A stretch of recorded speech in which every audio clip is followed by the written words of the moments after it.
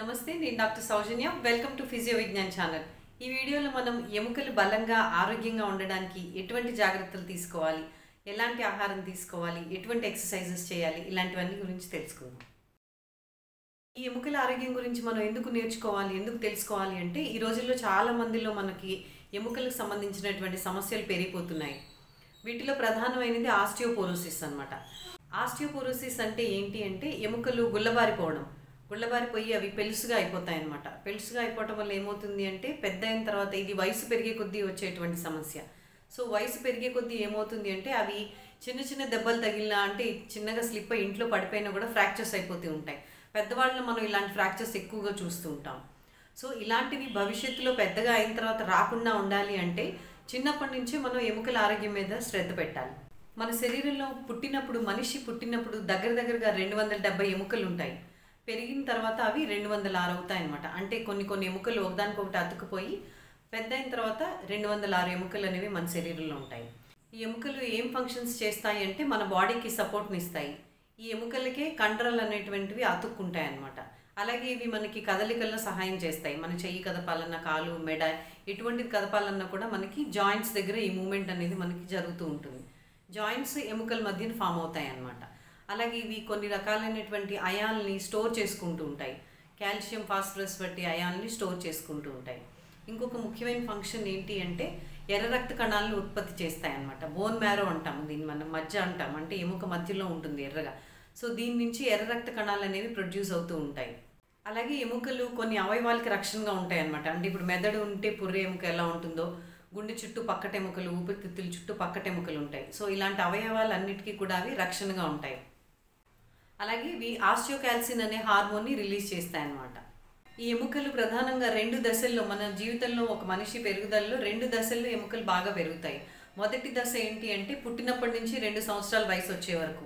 అలాగే రెండవ దశ ఏంటి అంటే వాళ్ళు టీనేజ్లో ఉన్నప్పుడు అనమాట ఆడపిల్లలకి పదకొండు నుంచి పద్నాలుగు సంవత్సరాల వయసు వచ్చే వరకు బాగా పెరుగుతాయి. మగపిల్లలకి పదమూడు నుంచి పదిహేడు సంవత్సరాల వయసు వచ్చే వరకు బాగా పెరుగుతాయి. ఎముకల ఆరోగ్యం మీద మనం చిన్నప్పటి నుంచే పిల్లల్లో అవగాహన తీసుకురావాలి. ఎందుకంటే వాళ్ళ బోన్ మాస్ చిన్నప్పుడు ఎంత అయితే ఉంటుందో ఈ టీనేజ్లో ఒక పది పర్సెంట్ కనుక వాళ్ళ బోన్ మాస్ని పెంచుకోగలిగితే పెద్ద అయిన తర్వాత ఆస్టియోపోరోసిస్ అనే ప్రాబ్లం అనుకున్నాం కదా అది యాభై శాతం వరకు వాళ్ళు తగ్గించుకోవచ్చు. సో ఇది ఇక్కడ పది పర్సెంట్ బోన్ మాస్ కనుక చిన్నప్పుడు వాళ్ళు పెంచుకుంటే వాళ్ళకి ఆస్టియోపోరోసిస్ వచ్చే అవకాశాలు యాభై శాతం వరకు తగ్గిపోతాయి.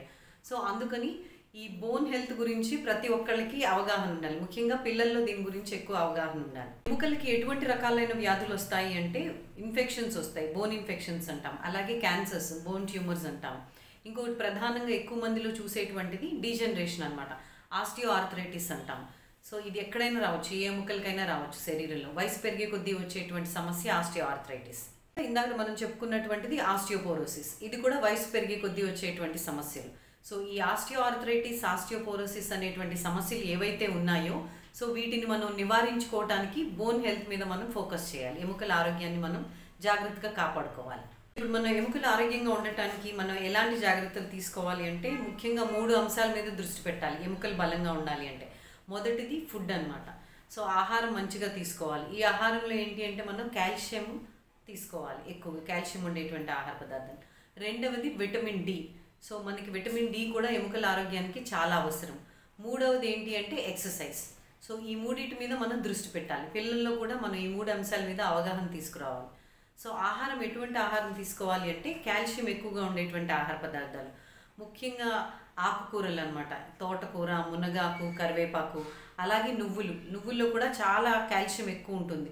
పాలల్లో కంటే ఈ నాలుగు పదార్థాల్లో కాల్షియం చాలా ఎక్కువగా ఉంటుంది.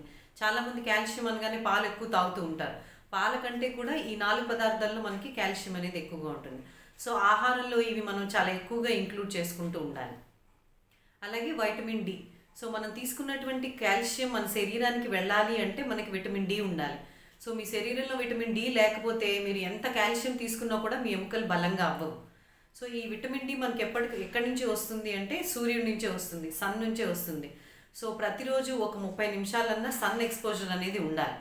అలాగే ఫిజికల్ ఎక్సర్సైజ్ సో ఎక్సర్సైజ్ కూడా చేసేటప్పుడు ఎలాంటి ఎక్సర్సైజ్ చేయాలి అంటే మైల్డ్గా ఉండేటువంటి ఎక్సర్సైజ్ కాకుండా మరీ సివియర్గా ఉండేటువంటి ఎక్సర్సైజ్ కాకుండా మోడరేట్ ఎక్సర్సైజ్ అంటాం. సో మోడరేట్ ఎక్సర్సైజ్ కనుక చేస్తున్నట్టయితే ఎగ్జాంపుల్ ఏంటి అంటే walking running jogging resistance training అంటాం. అంటే ఎక్కువ బరువులతో చేసేటువంటి ఎక్సర్సైజెస్ అది మీ శరీరంలో ఉన్న బరువుతో అయినా మీరు చేయొచ్చు లేదా బయట నుంచి వెయిట్స్ కానీ డంబెల్స్ కానీ ఇలాంటివి తీసుకునైనా చేయొచ్చు. సో ఇలాంటి ఎక్సర్సైజెస్ చేయటం వల్ల ఏంటి అంటే ఎముకల మీద ఒత్తిడి పెరిగి అవి బలంగా తయారవుతాయి. అలాగే బయట ఆడుకోవాలి పిల్లలు ఎక్కువగా. సో అవుట్డోర్ ప్లే చేయడం వల్ల కూడా మనకి బోన్స్ మీద రన్నింగ్ చేస్తూ ఆడుకుంటారు వాళ్ళు పరిగెత్తుతూ హ్యాపీగా ఆడుతూ ఉంటారు. అలాంటి టైంలో కూడా బోన్ హెల్త్ అనేది ఇంప్రూవ్ అవుతుంది. ఇంకొకటి ఏంటి అంటే ప్రోటీన్ ఎక్కువగా ఉండేటువంటి ఆహారం తీసుకోవాలి. ప్రోటీన్ మన బాడీలో తగ్గినా కూడా మనకి ఎముకల ఆరోగ్యం అనేది క్షీణిస్తుంది. కాబట్టి ప్రతిరోజు ఉండేటువంటి ఆహారంలో మనకి ఎంత అవసరమో ప్రోటీన్ అంత ప్రోటీన్ తీసుకుంటూ ఉండాలి. సో ఇవన్నీ చేయడం వల్ల మన ఎముకలు ఆరోగ్యంగా ఉంటాయి. అలాగే ఎముకలు ఆ- ఆరోగ్యాన్ని దెబ్బతీసేటువంటి కొన్ని అలవాట్లు ఉన్నాయన్నమాట. సో వాటిలో ఏంటి అంటే ముఖ్యంగా సాల్ట్ అండ్ షుగర్ అంటే ఉప్పు పంచదార. సో ఇవి ఎక్కువగా ఉండేటువంటి పదార్థాలు తీసుకోవడం వల్ల ఎముకలు బలహీనంగా అయిపోతాయి. అంటే స్వీట్స్ కానీ చాక్లెట్స్ కూల్ డ్రింక్స్. సో ఇవన్నీ ఎక్కువగా తీసుకోవడం వల్ల ఏమవుతుంది అంటే ఎముకలు బలహీనంగా అయిపోతాయి. అలాగే స్మోకింగ్ ఆల్కహాలిజం కూడా ఎముకల ఆరోగ్యాన్ని దెబ్బతీస్తాయి. అలాగే ఒకే చోట కూర్చోవడం సెడెంటరీగా కూర్చోవడం అనమాట ఎక్కువసేపు కూర్చోవడము టీవీ చూడడము కదలకుండా ఉండడము. సో ఇలాంటివన్నీ చేయడం వల్ల ఏమవుతుందంటే ఎముకల మీద ఒత్తిడి అసలు ఏమి ఉండదు ఇలాంటి మనుషుల్లో. సో ఆ వాళ్ళలో ఎముకలు వీక్గా అయిపోతాయి అనమాట కదులుతుంటేనే కండరాలు అవి కదిలి అవి ఎముకల మీద ఒత్తిడిని పెంచుతాయి. సో ఎముకలు అప్పుడు బలంగా అవుతాయి. యాక్టివిటీ చేయకుండా ఒకే చోట కూర్చోవడం వల్ల ఏమవుతుంది అంటే బోన్స్ అనేవి వీక్ అయిపోతాయి. సో భవిష్యత్తులో వీళ్ళకి ఫ్రాక్చర్స్ అయ్యే అవకాశాలు చాలా ఎక్కువగా ఉంటాయి. సో వయసు పెరిగే కొద్దీ ఎముక సాంద్రత అనేది తగ్గిపోతుంది కాబట్టి ఎముకల్ని కాపాడుకోవడం అనేది మీ చేతుల్లోనే ఉంటుంది. సో ఈ ఎక్సర్సైజ్ చేస్తూ మంచి ఆహారం తీసుకుంటూ యాక్టివ్గా కనుక ఉన్నట్టయితే ఎముకలు మనకు బలంగా ఉంటాయి. భవిష్యత్తులో ఆస్టియోపోరోసిస్ ఆస్టియోపో ఆర్థరైటిస్ అనేటువంటి సమస్యలు రాకుండా ఉంటాయి. Thank you